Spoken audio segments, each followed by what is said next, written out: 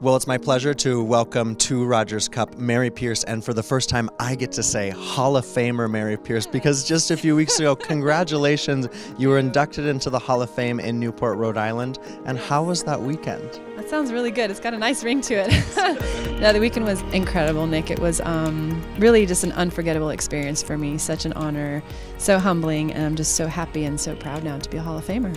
Okay, so walk us through that week because there's all of these festivities around the International Tennis Hall of Fame leading up to in Newport. You gave a big speech, you had so many media requests and all of these fan accolades, and maybe you had some nerves that you felt, what, back when you were a tennis player, when you were inducted into the Hall of Fame? Some nerves, a lot of nerves. Lot of nerves. Oh my gosh. I think it was maybe like one of the, if not the most stressful thing I've ever been through in my life, because um, it was just so emotional and so hard to put into words my whole tennis career and what it meant to me and the people that were there for me and that were able to be there that day for me.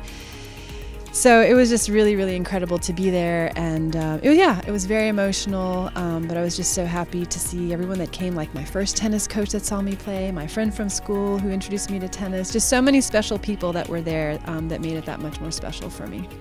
Well, it's special to have Mary here with us in Toronto, and actually, you're part of a WTA coaches conference, or detail us what you're doing here in Toronto. Yes, exactly. So, the WTA is organizing some coaches conferences, and I think it's wonderful because there are women out there that are great coaches and that can become great coaches. So, um, that's part of the initiative, and also that's one of my desires to see more women in coaching. I've coached for six years in the past. I started coaching again this year in January, two players um, from Mauritius, and I love it. And I just see that, you know, everything that I've been through in my career can benefit others and help them to be the best that they can be tennis players and people on and off the court. So I'm really excited to be here for this coaches conference today for all the coaches that are coming and hopefully have something to bring them that they can take away and use with their players. I'm glad you mentioned that. We see Conchita Martinez working with Karolina Pliskova. We've seen some other female coaches in the WTA, but how do we get more female coaches on the WTA coaching as they should be some of the best female tennis players? Yeah, I think make room for them and I think also to just speak about it and just say, you know, to former players or women that love tennis and are tennis players and passionate about tennis. I think at first it comes from the heart and it's a passion that we have and we love tennis and we want to help others to be the best they can be.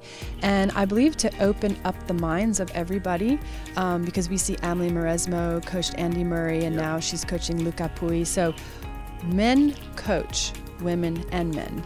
So women also are able to coach men and women mm. and can do a great job. And I think it doesn't matter about the gender if you're male or female. I think it matters the chemistry and you click. You know, every coach that I've worked with, it's been who's the person that best fits for me, and that could be a male or a female. So to open that door really, really cool. Glad that you're pushing that initiative. Now, you're back here in Canada. You were born in Montreal, so you, of course, have the Canadian connection. But what sort of Canadian Open? We, of course, are now the Rogers Cup. What memories do you have here? You were twice a semifinalist. You had good runs here in the past, but what does it feel like to be back here at Rogers Cup? It's very special for me to be back in Canada where I was born. Um, obviously, I was born in Montreal. We're here in Toronto, but just the Canadian Open, Rogers Cup has always had a special place in my heart. I loved coming back. I remember when I came and played the first time how welcomed I was by the crowd, and I was like, oh, I feel so Canadian. Thank you for the love. It's such a really special feeling.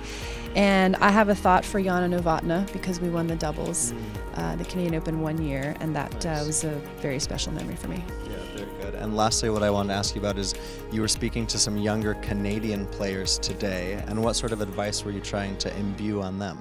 Well, you know, it was really uh, a great time. Um, a wonderful group of, of young girls, um, aspiring professional tennis players, and you know, some play the tournament here. And you know, it was really interesting because they had questions for me, and they had very good questions, um, all sorts of different kinds. And I really enjoyed my time with them, and I feel um, that it was a special time for them as well as it was for me, and that they took things away that I really believe that they're going to be able to apply in their life on the court and off the court, and it's going to help them to be the best person and the best tennis player that they can be. So I'm excited for them. What's that one piece of advice? You got to help me, you've got to help the viewer. What's the one piece of advice we should take away? Well, um, I would say to have a dream.